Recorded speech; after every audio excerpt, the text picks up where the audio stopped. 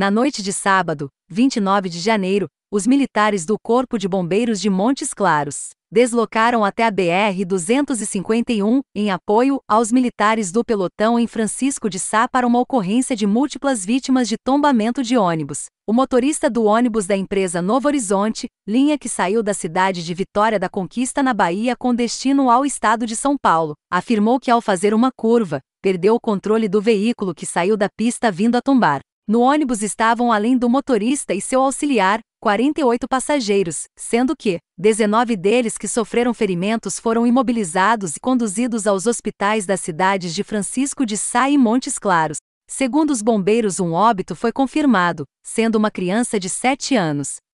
Os bombeiros, ao chegarem no local, imediatamente iniciaram a triagem das vítimas pelo método START, para verificar quais vítimas teriam prioridade de atendimento.